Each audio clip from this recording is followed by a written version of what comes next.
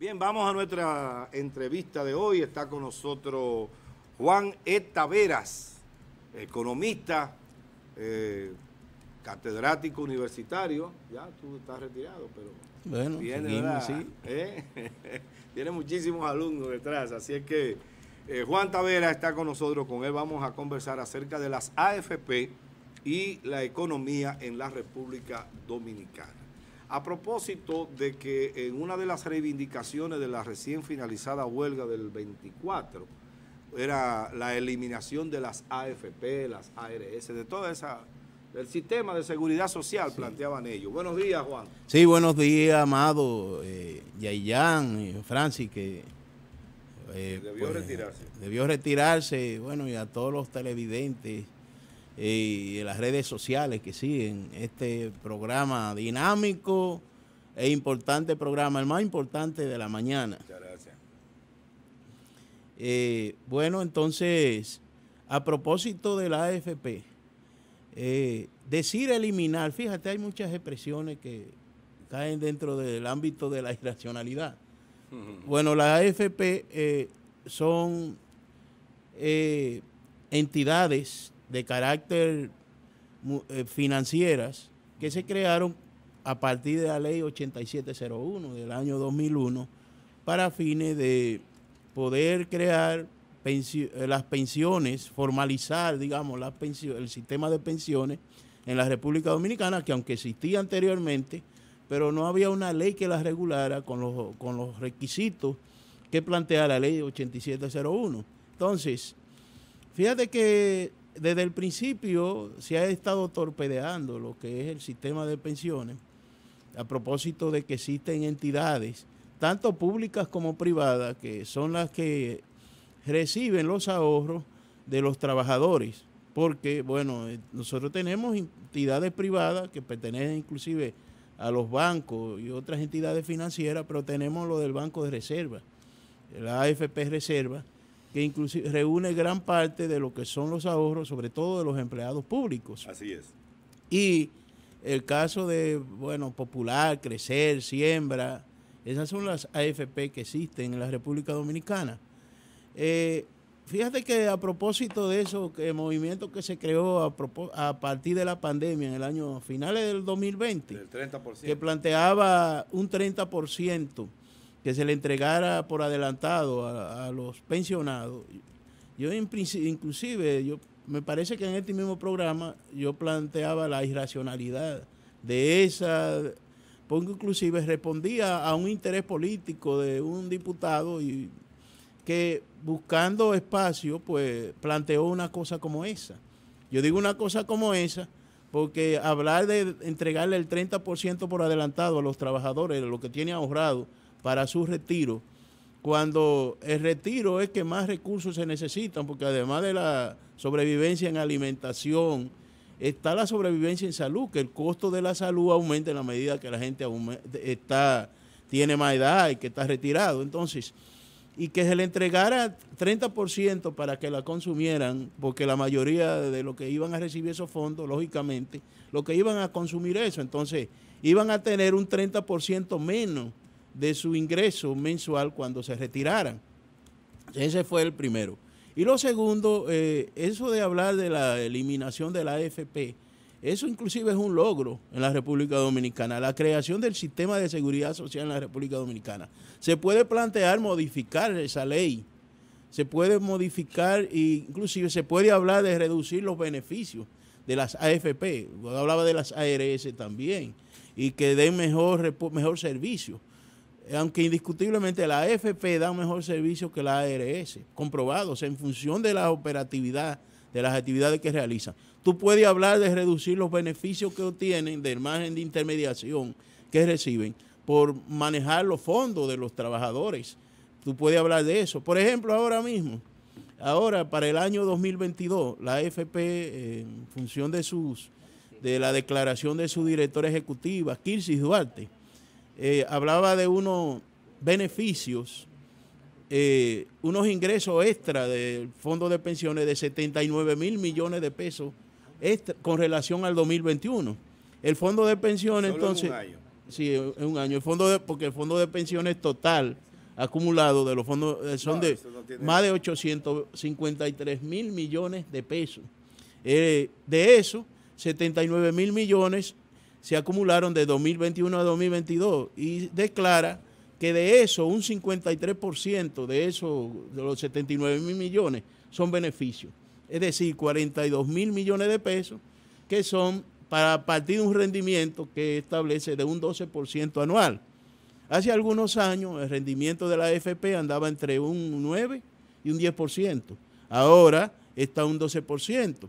Eso significa que ese rendimiento que tiene la AFP se traduce en beneficio para los fondos de los pensionados, porque eh, se van a, descontando mensual tanto al trabajador como al patrono, al empleador, eh, y eso se va acumulando, pero además de que se va acumulando la parte de capital, o sea, lo que se deposita mensual, también está el rendimiento de esa tasa. Entonces, en, un año vamos hablando de un rendimiento de un 12% con relación a los fondos que tienen los trabajadores. Eso permite entonces que a final de la jornada, cuando el trabajador es pensionado, va a recibir lo que tiene acumulado de capital más los beneficios que se van acumulando eh, y que producto de la operatividad de la AFP se van dando. Hay un fenómeno que se da aquí y es que cerca del 75% de los fondos del plan de, de pensiones de la AFP de los fondos que tiene la AFP, hay una, ese 75% está entre bonos eh, en el banco de reserva, del banco de reserva y bonos y papeles comerciales, eh, perdón, certificados de participación del Banco Central. O sea, estamos hablando de que cerca del 57% de los fondos que tiene colocado eh, la AFP está en el banco de reserva y un 18% en, en certificado de participación del Banco Central. En otras palabras, el 75% de los fondos está en manos del Estado, podríamos eh, decir. Eh, Entonces, ahí ese es un fenómeno interesante. Taveras, pero hay un tema. Cuando una gente ya llega a su edad, ¿verdad? Eh, límite ya cuando puede optar, le ponen todas las trabas habidas y por haber. Y cuando la gente va a retirar su dinero, le dicen, mire, le falta esto, y luego eh, eh, le falta aquello, pero además la persona tiene que hacer el proceso de manera presencial, a veces gente que ni siquiera se puede mover. Con todo ese dinero que se mueve en beneficio ¿verdad? de los intermediarios, no se pudiera regular eh, que inmediatamente una persona cumpla con los requisitos, sea la institución la que vaya donde la persona para resolverle su problema. Bueno, en los casos de la cuando una persona, por ejemplo, renuncia o lo cancela en un trabajo y no tiene, eh, y está dentro de lo que es el régimen, de, a partir de cuando comenzó el régimen de seguridad social, se cumple eso. O sea, inclusive hasta lo, se comunican por correo o lo llaman para que retiren su fondo. Eso es el caso de que de una persona haya renunciado de un trabajo y que comenzó después que se puso en vigencia eh, el sistema de seguridad social y el funcionamiento de la AFP en la República Dominicana, ahí, eh, por ejemplo, tú tienes un trabajo y a ti te cancelan o tú renuncias. Entonces, cuando tú cumples 60 años, la AFP se comunica contigo y te, y te, entrega esos fondos. Y sin muchos requisitos. Los requisitos es un acta de nacimiento, la cédula, eh, constancia de que eres tú el que tiene esos fondos.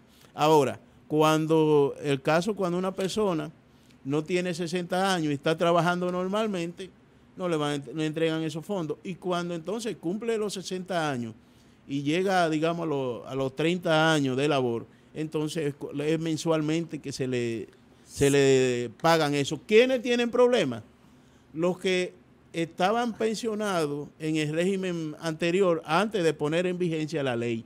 Ahí hay algunas dificultades porque hay un problema de, digamos, de, desfase entre lo que existía antes y lo que existe ahora a partir del nuevo del Instituto de Seguridad Social. exacto. Eh, el Instituto de Seguros Sociales que existía antes, entonces ha habido dificultades, inclusive en finanzas, eh, hay un problema entre el Ministerio de Hacienda eh, y, la, y porque son fondos eh, de, que no estaban dentro del, del plan, del programa, de, o que no están dentro de los fondos de pensiones. Entonces, y que es Hacienda entonces que tiene que responder a esas personas. Entonces ahí ciertamente hay muchas dificultades, pero en lo que se trata en el nuevo régimen de seguridad social, ahí no hay dificultades, inclusive ahora mismo a lo de que son los sobrevivientes, personas que mueren y que está ahorrando, le han estado entregando.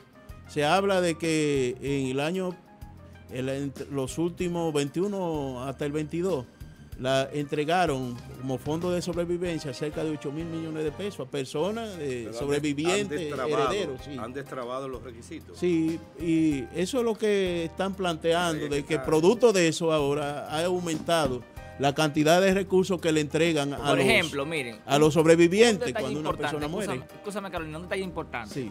Usted lleva, por ejemplo, eh, una determinación de heredero, ¿verdad? Y, y le piden a usted que lleve el, el, eh, una copia del, del, que se, con el, que, el original. O sea, eso es un, eso es un acto notarial, ¿verdad? Que lo Sí, que sale correcto. es una compulsa. Es decir, una certificación del notario de que él tiene ese documento Exacto. en su poder. Y le exigen El, el original. eh, una copia del original. Pero eso, eso es una cuestión que no se consigue. Una un- copia del original más el original. No, es no. jamás la compulsa. Ah, es- bueno. O sea, Bueno, porque, eso- hay una, porque hay una cosa para Sí. que la gente entienda. Sí. El notario eh, realiza dos tipos de actos que son bajo firma privada que, Exacto. y que lo que certifica son las firmas. exacto. Correcto. Y el acto auténtico, que es un acto que emana de su protocolo, que tiene un número, que debe ser secuencial, pero que no sale de sus archivos, ese original no sale. ¿Qué es lo que el notario está obligado a dar? Una compulsa, es decir, una certificación, un documento certificado que dice que el notario público fulano de tal certifica que este acto número tal pasó por su despacho. Y entonces vacía todo el contenido del acto y al final lo firma él. ¿Tú ves? Pero entonces la AFP se- Ajá, Te le siguen- pide una copia del acto introductivo, por ejemplo, del acto original, que es el que tiene la ¿Y firma. qué Y, tú eso crees no que es correcto. ¿Qué Eso- tú crees que es eso? Esos son, esos son de los entuertos que son hay que corregir. son trabas hechas indiscutiblemente. adrede. Oye, son trabas hechas adrede porque ellos tienen abogados y ellos tienen Claro, y los sí. abogados saben que así es que funciona mire, el asunto. Usted sabe que el AFP es un seguro. Ustedes saben la práctica de los seguros. O sea, que utilizan eso, esas, esas argucias para fines de un poco alargar los procesos de pago. Eh, en el caso del pago normal, digamos, no hay dificultades. Es Mira, ahí donde hay problemas. tenemos un- Cuando se trata de, eh, digamos, pago por sobrevivencia Tenemos- de los fondos. Tenemos, Juan, una, una llamada de Bernabé que quiere aclarar algo. Bueno, Bernabé, No sé que si es un lo- especialista en el tema. Sí. Qué No bueno. sé si nos permite hacer Adelante, adiós, pero lógico. Eh, Bernabé, brevemente, porque estamos en la entrevista con Juan, ¿verdad? Pero brevemente vamos a que tú hagas la aclaración. Adelante. Buen día, Bernabé. Adelante. ¿Qué pasó? ¿Se fue Bernabé? Bueno, llama al Bueno, celular sí. de tu amiga Carolina o al mío o al de En lo que Yerjan. Bernabé se comunica con nosotros. Ok. Es una preocupación. No sé si los muchachos hicieron la pregunta. dándole un antes de seguir, hay que decir que Bernabé es una de las personas que más conoce Sí, del tema sí. de seguridad, porque ha estado en todo en el proceso, antes y durante, nos está llamando. trabajando en el tema, o sea, que es un especialista. Vamos a ver. No me el teléfono. Buenos días, Bernabé. Te escuchamos. Buenos días, eh, Carolina, Yerjan, Amado y mi amigo Manuel Tavera, mi compañero de partido, Juan la Tavera. del Pueblo. Ok. Adelante, Bernabé. Baja un poquito el volumen del televisor. Ah, ok, ok, está bien. Con relación al comentario que hace Manuel, mira, óyeme, las AFP no informan a nadie. Esa es la gran traba que tiene el sistema. Sí. no informan a nadie. Porque la seguridad social está hecha para, para que sea la persona que busque la información.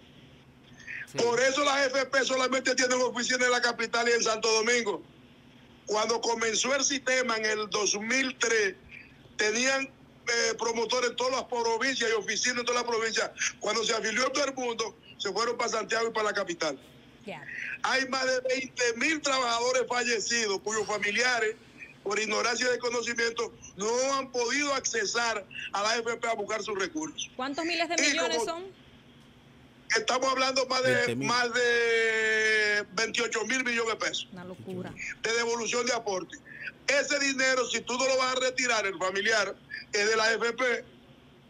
Y por eso hay que modificar la ley para que ese dinero pase a la seguridad social, qué sé yo, para la enfermedad de alto costo, para los envejecientes, para la pensión, todo eso. Y también con la documentación, como lo explicaba Amado, cuando tú vas a solicitar una pensión de sobrevivencia o por discapacidad, a un documento porque le falta un- un- una coma, te lo devuelven. Sí. Si dicen que, que, que eh, eh, eh, Carolina Medina, casada con el señor fulano de tal, lleva el acta de matrimonio, eran casados, pero le devuelven el documento porque el documento que hace dice no dice la fecha cuando se casaron. Pero señor, tú tienes un acta de matrimonio al lado. Tú tuvo tres hijos, fulano, fulano, fulano, acta de nacimiento legalizada. Te lo devuelve porque el, el documento que hace el abogado notario tiene obligatoriamente que decir la fecha de nacimiento de esos muchachos. Es traba por donde Sí, quiera. sí. Las AFP, la, la AFP, las AFP están hechas por los ricos, por los banqueros, para capitalizar su inversión y no devolver el dinero a, los a los trabajadores. Estamos hablando de pensión, 30 años de edad. 30 años cotizando. ¿Qué trabajador aquí en este país dura 30 años cotizando? Ninguno. Los médicos, los ingenieros, todo eso. Pero en las empresas, el nivel promedio de, tra- de trabajo son 12 o 15 años que dura la gente. Aquí lo que va a ocurrir es mucha devolución de aporte, pero pensión no va a haber. Y quien logre trabajar, cotizar los 30 años, va a tener aproximadamente un 20 o 22% de la pensión de su último salario. Por lo tanto, ese sistema hay que reformarlo de arriba abajo. Bernabé, Bueno, muchísimas gracias. gracias. De Bernabé, muchas gracias. eh, sí, estamos de acuerdo, inclusive al principio hablábamos que hay modificaciones que se deben hacer a la ley de seguridad social y la parte que tiene que ver con el aspecto eh, administrativo funcional, porque indiscutiblemente a la AFP, ¿verdad? Son empresas privadas en gran parte que controlan la AFP Y por lo tanto eh, debe hacerse modificación y darle mandato legales para que estos tengan que, digamos, mejorar el sistema de información entre los beneficiarios y la, y la institución que maneja los fondos de esos beneficiarios. Eh, hay una... Abusivo por todos lados. eh, de verdad que esos fondos, inclusive cuando no se reclamen ciertamente, la AFP debe canalizarse un mecanismo para que vuelva, porque son fondos de la, de- de- de- de la colectividad. Que ese dinero no O es de sea, ellos. cuando es un fondo, entonces que debe pasar alguna actividad para fines de dar respuesta a problemas de salud y a problemas de sobrevivencia, porque eh, esos son de las modificaciones. A partir de lo que dice Bernabé, sí, ciertamente que deben hacerse para mejorar el sistema de pensiones. No es satanizar el sistema de pensiones, porque no podemos satanizarlo. Es importante el sistema de pensiones. Ahora, hay que hacer modificaciones para que este beneficie más a los trabajadores. Profesor, Sí. mire, ya casi, eh, bueno, tenemos que despedirlo, pero usted no se puede ir de acá en un minuto que no es suficiente para que nos hable del costo de la vida, eh, rapidito, ¿qué nos puede decir? No hay miras a resolverse, Amado se ríe.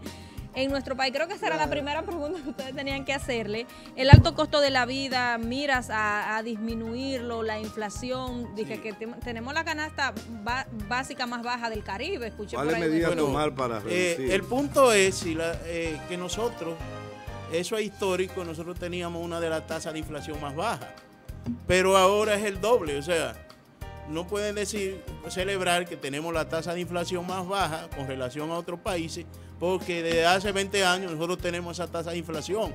Teníamos una tasa de un 4% y ahora un 8%, o sea, el doble. Eso como el chavo. El doble, Pero sí. ¿y la realidad que ha Entonces, pasado? No tiene que Si ver. usted va a un supermercado, va a ver que la leche está no menos de un 60%. Pero la cualquiera. pandemia, los fletes, Exacto. es esa lo Tratando de ser- Pero un que a- se argumentaba los fletes, y eso hablábamos hace un tiempecito aquí, de que el flete costaba eh, 13 mil eh, 13 mil dólares un, un furgón y ahora bajó a, a cerca de 1.500 y aún los precios de esos productos que se trasladan en esos furgones están al mismo precio o han aumentado con relación al año a principio del año 2021. Entonces, es precisamente el argumento de, de- hablamos del pollo inde, como que la gente nada más co- trabaja para comer pollo. No, no, que Entonces, y aún así, el presidente encontró una eh, fórmula ahí que nadie le sí, entendió. pero que el pollo, la, la mayoría de la población ahora no puede comprar pollo a 85 pesos La gasolina la subieron. Mínimo, la mínimo, gasolina la subieron, maestro. La gasolina se mantiene al mismo precio, pero al precio de, de febrero del, del 2000, del año pasado, y la gasolina entre febrero del año pasado y febrero de este año disminuyó 32 dólares. El Y barril de petróleo. El barril del petróleo a nivel internacional y el precio aquí se mantiene fórmula fijo. de hito? Ah, no, no ha aumentado, se mantiene fijo, pero con relación a- al año 2022 está más alto ahora. Mira, El y te precio. llegó al, y al- a nivel internacional el precio está más bajo, una contradicción. Entonces no pueden decirnos que el problema de la inflación de la República Dominicana es externa, como sucedía en la pandemia. Ya eso pasó. Yo por lo Ok. menos me Ya siento... esos efectos de la pandemia pasaron, entonces la inflación es interna, producto de una mala política de precios. Licenciado, yo me siento contento porque yo sé que también a los otros, incluyendo a los del gobierno, que aunque ellos tienen Sí, botellas, ellos tienen, claro. eh, también le dan en la madre cuando van a los supermercados. Bueno, Entonces, señores. Pero recibe más ingresos que usted. Mi amigo Juan Tavera, Sí, mi hermano. trabajar. Juan- Pero, pero llegará el momento en que ya no estarán ahí y van a sentir la presión. Bueno, Mi hermano Juan. Tavera ha estado con nosotros. Yo Yo, 25 pesos y una chinola Pero y los 25 plátanos, pesos. los plátanos están por encima de Los los, 20 limones. señores, 25 no sean tan antichéveres que es muy temprano en la mañana para Una amargarle la vida a la 20 gente. Oiga lo que me dijo el, el- el de la fruta, que es que hay mucha gripe y por eso que está Un caro. limón 25 pesos. Yo no sabía. Señor, increíble. Señores, gracias Juan por tu no presencia y someterte al interrogatorio del día de hoy. Bueno, la Bien. pregunta del día de hoy. Bien, bien. Yo lo digo a Chamo que él cree que llegó a algún lado cuando arrancó de Venezuela para acá. Ya. No. bueno, señores.